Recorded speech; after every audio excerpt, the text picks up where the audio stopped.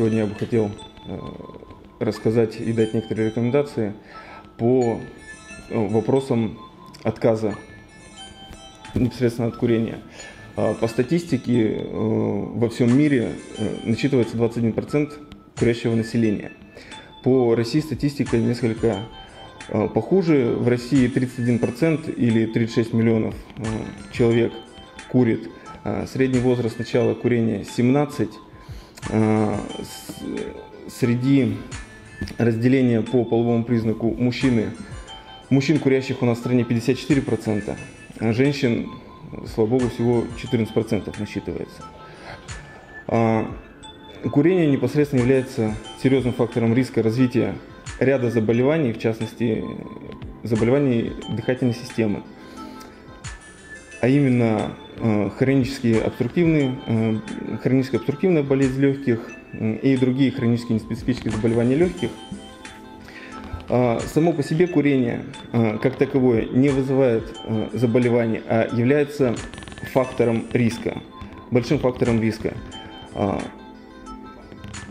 Всемирная организация здравоохранения э, проводила свои исследования, в которых показали, что курящий человек в среднем сокращает свою жизнь на 15 лет. То есть и отсюда все эти общие фразы, что курение а, приводит к преждевременной старости, они имеют место быть. То есть курящий человек живет на 15 лет меньше.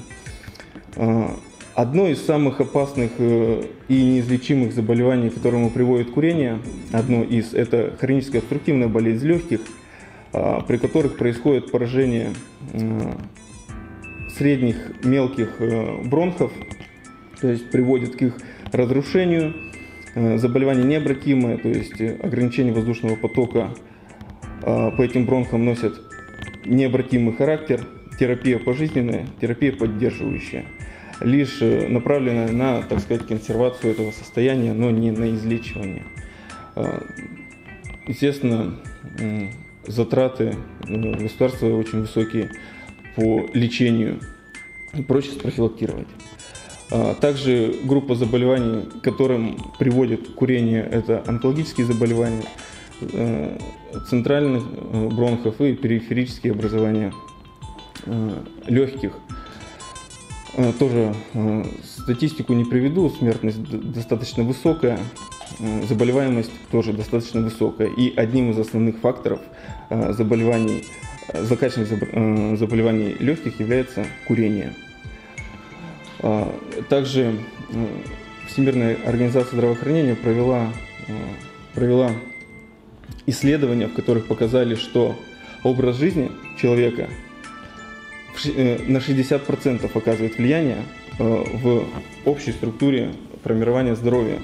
И лишь 10-15% э, отдается на откуп здравоохранению.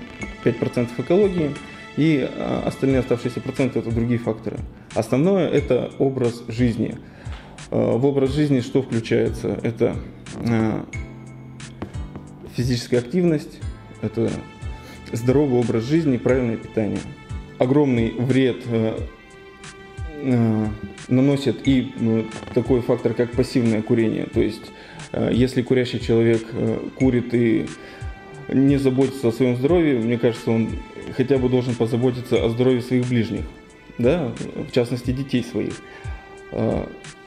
Также в исследованиях показано, что курящие люди в 90% случаев имели курящих э, родственников э, в своей семье.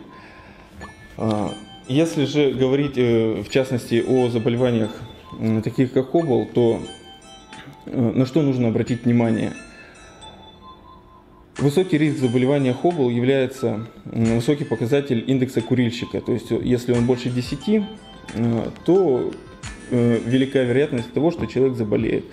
Считается он просто количество лет курения умножается на количество выкуриванных сигарет в сутки и делится на 20. Если получается индекс больше 10, то это основание, серьезное основание обратиться к специалисту, к терапевту либо к пульмонологу для получения консультации и проведения скрининга дыхательной системы. Также следует обратить внимание курильщикам на э, симптомы, которые могут на начальной стадии помочь заподозрить хронический необструктивный бронхит, а именно одышка, которая нарастает при обычной, уже обычной физической нагрузке, появление кашля. Кашель преимущественно возникает по утрам, может отходить мокрота, чаще она отходит. То есть вот этот три основных признака должны человека насторожить на то, что у него большой риск э, развития хронической обструктивной болезни легких. Это основание для того, чтобы обратиться. Пассивное курение, ровно как и активное курение, в том же объеме э, влияет на э, заболевания дыхательных путей. Также хочется сказать про злокачественное образование. То тут эта тема требует отдельного обсуждения. Почему? Потому что э, на ранних стадиях э, заболевания злокачественные сложно обнаружить. Э, все зависит от локализации и размера очага поражения. Симптомов, симптомов может не быть на протяжении нескольких лет, а потом они проявляются уже на той стадии, когда нужно а, проводить какие-то хирургические вмешательства и активной, требует активной работы онкологов.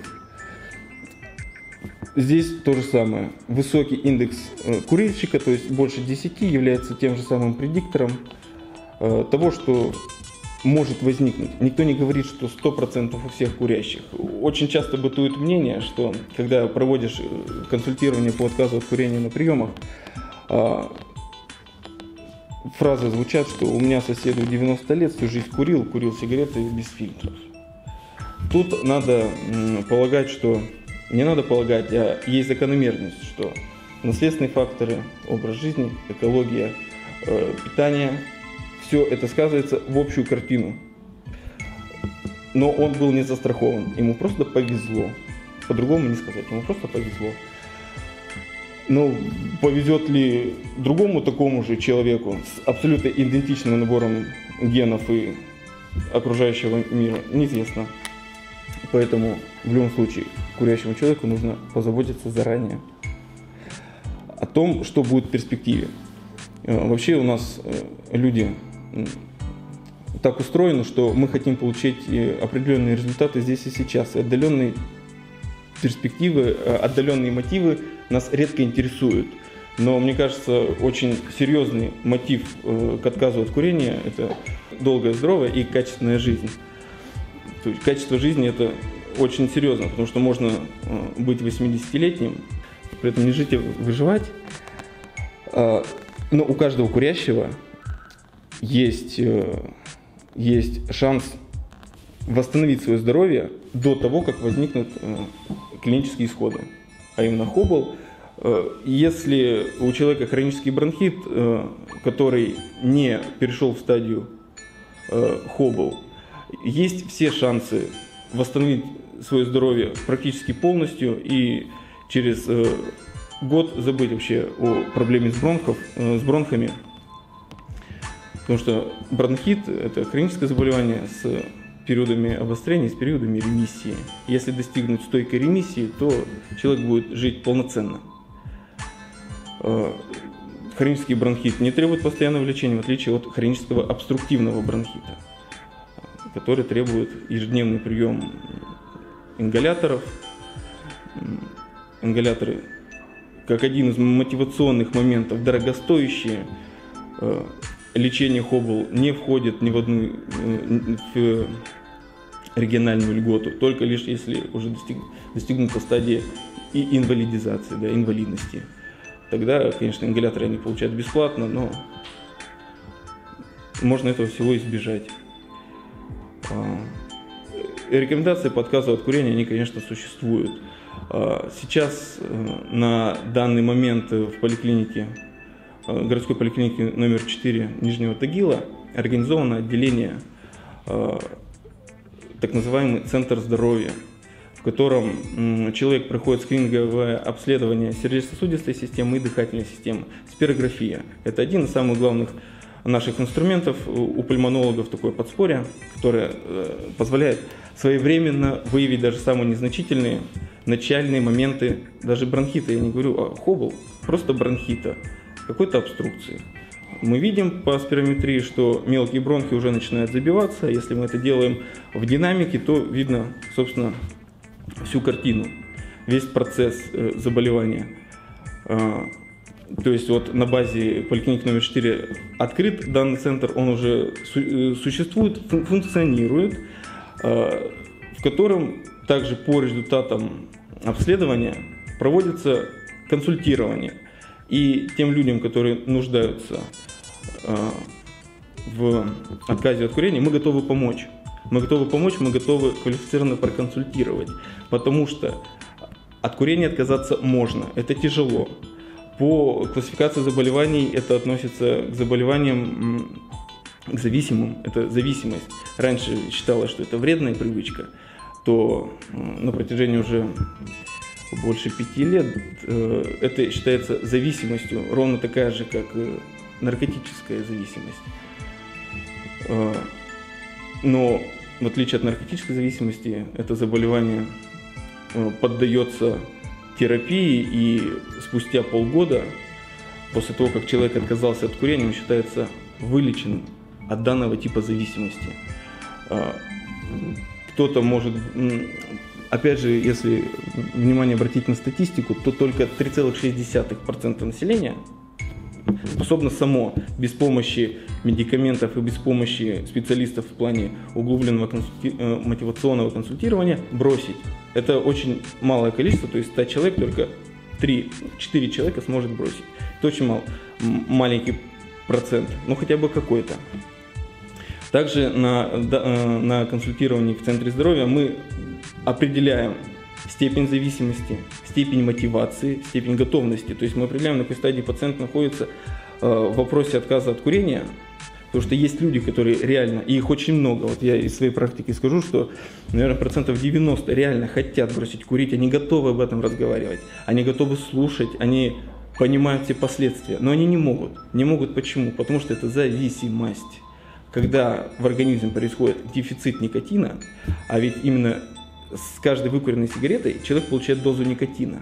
А дым, продукты горения, это э, лишь э, плата за это получение никотина. То есть это такой побочный момент, который непосредственно влияет на здоровье человека, непосредственно влияет на разрушение бронхов, хроническое воспаление и образование злокачественных на образование именно дым. Никотин – это молекула, за которой человек гонится. А, существует три типа лечения, о которых мы готовы, которыми мы готовы поделиться с каждым Э, человеком к нам обратившимся, подобрать правильную схему лечения. Она длительная. В среднем курс лечения от э, никотиновой зависимости длится 8 недель в среднем. Но э, когда человек добросовестно проходит эти, весь этот курс лечения, он действительно отказывается от него. Это что касается борьбы с курением. Мы всем готовы помочь, и это возможно. А, также, мне кажется, населению стоит знать про такие маркетинговые инструменты табачных компаний, которые выпускают крепкие сигареты. Вот каждый, а, каждый человек, который пытается в своей жизни бросить курить, много разных мифов входит. Кто-то говорит, нельзя бросать сразу, кто-то говорит, вообще нельзя бросать, особенно те, кто болеют хоббл, вот они говорят, что мне нельзя бросать, мне только хуже. Хуже в каком проявлении? Конечно, человек, когда бросает, Э, происходит синдром абстиненции. Опять же, то же самое, что при отказе от э, алкоголя, при отказе от наркотиков, абстинентный синдром, который выражается в раздражительности, появлению постоянного стресса, ну и остальные неблагоприятные моменты, каждый курильщик обращает внимание, что он становится раздражительным. Это синдром абстиненции, который длится менее двух недель. Конечно, нужно потерпеть. Чтобы заплатить за долголетие, нужно чем-то пожертвовать. Своим терпением просто потерпеть. А, терпеть также в вопросе отказа от курения большую роль играет окружение. То есть поддержка в семье а, и очень эффективные методы, когда бросают курить коллективом. Коллективами, коллективное. Отказ, то есть нет примера, который ходит сигаретой, а ты бросаешь. Это тяжело каждый курильщик это понимает, о чем идет речь. То есть всего существует на сегодняшний день три типа терапии, одна из которых никотин-заместительная терапия. Многие граждане, кстати, а, самостоятельно прибегают э, к самолечению и идут в аптеку и покупают пластыри, жвачки и так далее, так далее, без э, квалифицированной помощи специалиста. Но это ровным счетом такой же препарат, такая же медикаментозная терапия, как любая другая, которая требует подбора дозы. Главное, правильно подобрать дозу. В нашей поликлинике работает три врача, которые реально обучены методом, профессионально обучены методом э, консультирования э, по вопросам отказа от табакокурения. Поэтому приходите в Центр здоровья, все поможем, поможем сориентироваться, поможем отказаться от курения. Уважаемые пациенты, если у вас появилось реальное желание, вы хотите бросить, но у вас это не получается по тем или иным причинам, а, любой врач готов в этом помочь. В частности, э, пульмонологи, терапевты. А, приходите на прием, проведем квалифицированное, правильное и наукообоснованное консультирование и поможем разобраться в причине, поможем, поможем подобрать правильную терапию.